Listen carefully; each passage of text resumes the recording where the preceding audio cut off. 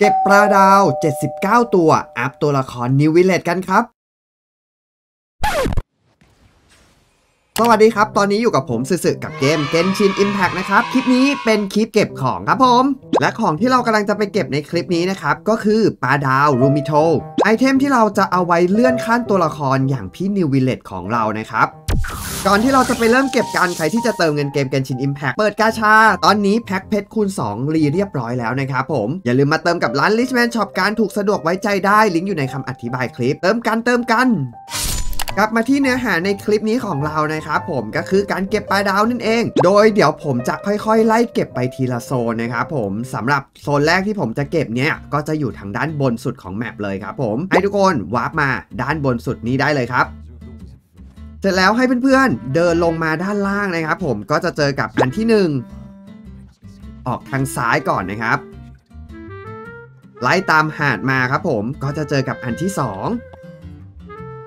3 ก็เดินตรงไปด้านหน้าครับ 4 แล้วก็ 5 ครับ หลังจากนั้นครับให้เพื่อนๆดำน้ำไปด้านล่างนิดเดียวครับ จะเจอกับอันที่ 6 แล้วก็ 7 ครับ 7 อันแรกเรียบร้อยวาร์ปกลับไปที่จุดเดิมครับ พอวาร์ปมาแล้วนะครับ หันหน้าลงด้านล่างได้เลยครับ ผมวิ่งไปที่เกาะอันเล็ก ๆ ด้านล่างครับ 8 ลงต่อเนื่องครับ 9 ทีนี้เราจะไปเลาะขอบหาดกันครับ 10 ครับ 11 12 13 14 15 16โอ้เมื่อกี้ผมเลยมาครับ 17 ครับผม 18 ถัดมาวิ่งมาต่อที่ตัวบริเวณที่เป็นสะพานแบบนี้นะครับผมด้านล่างสะพานครับเจออันที่ 19 ครับ 20 แล้วก็ 21 ครับ วิ่งต่อเนื่องไปหาดด้านหน้าครับ ผ่านน้องตะอุ๋งไป แล้วก็อันที่ 22 แล้วก็ 23 ครับ หาดด้านบนนี่เรียบร้อยนะครับ ไปต่อกันอีก 1 หาดครับ ขอไปหาดทางด้านขวามือก่อนนะครับ ผมวาร์ปไปได้เลยครับ เสร็จแล้วให้เพื่อนๆเดินลงมาด้านล่างครับ ข้ามคลองมานิดหนึ่งครับผมจะเจอกับตัวของเรือที่พังอยู่นะครับ ก็จะเป็นอันที่ 24 ครับ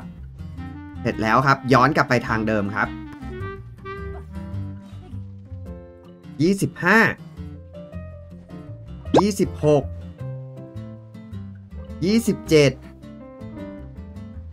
28 ครับโซนด้านบนนี้หมดเป็นที่เรียบร้อยนะครับผม ถัดมาเรามาอีกหาดฝั่งหนึ่งครับ ทางด้านซ้ายมือวาร์ปไปได้เลยครับ ขึ้นด้านบนนะครับผมเราจะเจอกับตัวของปลาดาวอันที่ 29 ครับ ไล่ตามหาดไปเรื่อยๆเลยครับ 30 31 และ 32 ครับ หลังจากอันที่ 32 เรียบร้อยแล้วให้เพื่อนๆเนี่ยออกด้านข้างนะครับผมแล้วก็ทำการกระโดดน้ำลงไปได้เลยครับดำน้ำลงไป พอดำลงมาแล้วนะครับ เราจะมีตัวของน้องปลาดาวแถวๆเจ้าตัวเสาตัวนี้อีก 6 อันนะครับผมไล่กันไปได้เลยครับ อันที่ 1 ครับผมเสร็จแล้วออกทางขวาครับว่ายลงไป อันที่ 2 เสร็จแล้วว่ายขึ้นมาด้านบนนิดนึงครับ อันที่3ก้มหน้าลงไปได้เลยครับ อันที่4ถัดมาเป็นเสาด้านหน้านี้ครับ มาแอบอยู่ตรงนี้ครับ อันที่5ครับ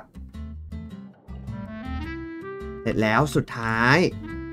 ด้านล่างพื้นเลยครับ ก็จะเป็นอันที่ 6 ครับ บริเวณใต้น้ำตรงนี้ก็จะมี 6 อันเนาะรวมแล้วตอนนี้เราจะอยู่ที่ 38 อันนะครับผมถัดมาครับวาร์ปกลับไปที่จุดวาร์ปอีกหนึ่งรอบครับ อันนี้เราจะเดินลงด้านล่างกันบ้างครับผม ไปเริ่มจากเกาะเล็กๆ ด้านล่างนู้นได้เลยครับ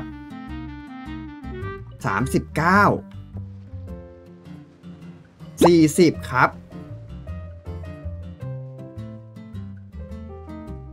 เดินย้อนกลับมาครับ 41 42 เดินหมุนกลับมาครับ 43ส่วนบนบกเนี่ยจะได้ที่ 43 อันนะครับ ต่อไปเราจะเริ่มลงน้ำกันอย่างต่อเนื่องครับดำน้ำลงไปเลยครับ 44 ครับ ลงมาด้านล่างครับ 45 หมุนกลับ 46 ครับ ตรงนี้จะอยู่ที่ 46 อันครับ ตอนนี้ 46 อันเรียบร้อยแล้วนะครับผม ในบริเวณตัวของขอบหาดแล้วก็น้ำตื้น ยังมีหาดอีกหนึ่งหาดครับผม ด้านล่างนี้เลยครับ วาร์ปมาที่เสาวาร์ปใหญ่ตรงนี้เลย แล้วกระโดดลงมาด้านล่างครับ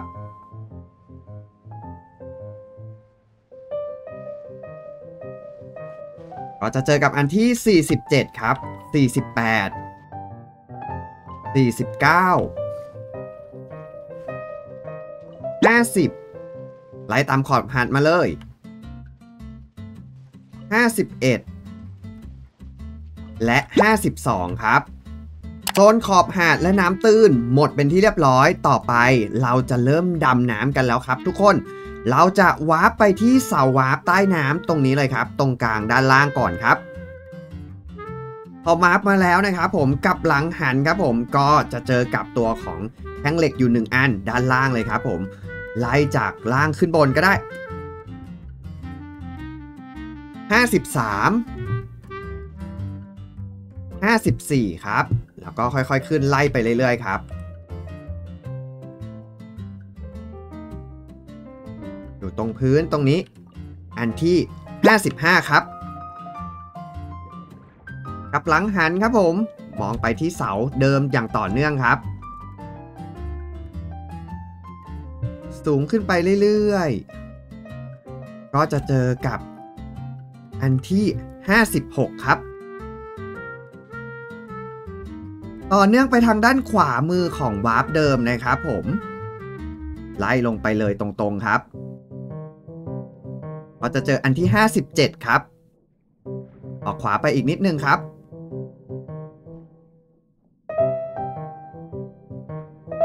ตรงบริเวณมอนสเตอร์ครับผมก็จะเจอกับอันที่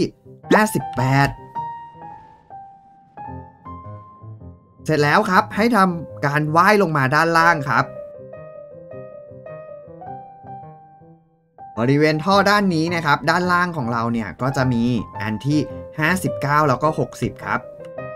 59 แล้วก็ 60 ครับ หลังจากที่เราเนี่ยเก็บทางโซนด้านซ้ายเรียบร้อยแล้วนะครับ ต่อไปเราจะมาเก็บทางโซนด้านขวาครับหันหน้าออกทางด้านขวาได้เลยครับเพื่อนๆจะเจอกับนี่เลย แท่นที่มันมีเสาสสารอยู่นะครับ มาที่พื้นตรงนี้ครับ ผมก็จะเป็นอันที่ 61 ครับ ถัดมาครับผมว่ายลงไปด้านล่างได้เลยครับ 62 แล้วก็ 63 ครับเสร็จแล้วเรามองกลับไปครับ เฉียงไปทางด้านบนขวามือ ด้านล่างสุดเลยครับ ตรงนี้ครับผมก็จะเจอกับอันที่ 64 ครับ เสร็จแล้วให้เราวาร์ปมาวาร์ปด้านล่างของบอสม้าน้ำนะครับ มองออกไปทางด้านขวามืออีกหนึ่งครั้งครับ เจอกับเจ้าท่ออีกแล้ว เจอด้านบนท่อตรงนี้ครับ 65 แล้วก็ว่ายขึ้นมานิดหนึ่งครับ เป็นอันที่ 66 ครับ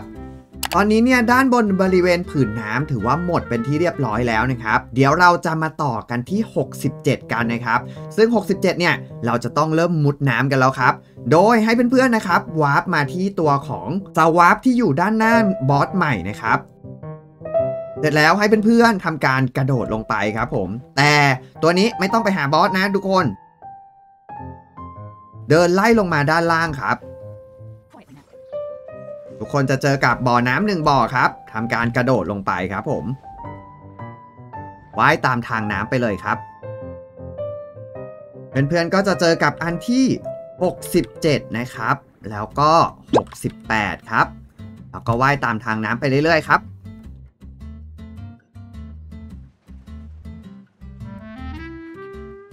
ดินขึ้นมานิดนึงครับ จะเจอกับเสาวาร์ปอีกหนึ่งเสานะครับ 68 แล้ว เดินจากเสาวาร์ปมาก็จะเจออันที่ 69 ครับ เดินต่อตรงไปด้านหน้านะครับผม ก็จะเจออันที่ 70 ครับออกมาด้านหลัง 71เดินต่อตรงขึ้นไปด้านบนครับ ก็จะเจอกับอันที่ 72 73 กระโดดลงไปในน้ำครับ 74 74 เรียบร้อย warp กลับมาที่จุด teleport เดิมที่เราผ่านมาครับ เมื่อกี้เราไล่ตามสะพานฝั่งนี้ขึ้นไปใช่ไหมครับ แต่รอบนี้เราจะไปอีกฝั่งหนึ่งครับ ทางด้านซ้ายมือ เข้าท่อมาเลยครับ ก็จะเจอกับอันที่ 75 ครับ 76 77 ลงมาด้านล่างนิดนึงครับ จะเจอกับนี่เลย ตัวของแท่นเนาะเปิดประตูน้ำครับ เข้ามาเจอศัตรูกำจัดให้เรียบร้อย โดยเจ้าประตูวาล์วน้ำนี้นะครับ มันจะมี 2 ชั้นเนาะให้เพื่อนๆเนี่ยทำการรีบๆกด แล้วก็ประตูมันจะปิดเปิดสลับกันครับ ให้เราเนี่ยเอาตัวมาไว้แถวๆประตูครับ แล้วก็ทำการไปอีกฝั่งหนึ่งได้ เข้ามาข้างในก็จะเจอกับอันที่ 78 ครับ และก็ปิดอันสุดท้ายที่ 79 เรียบร้อยนะครับ นั้นก็เป็นทั้งหมด 79 อันนะครับผมสำหรับ item ปลาดาวเอาไว้อัพตัวละครอย่าง Neuvillette ครับ มาอัพกันดีกว่าทุกคนนี่เลย นี่เลยครับปึ๊บเลเวล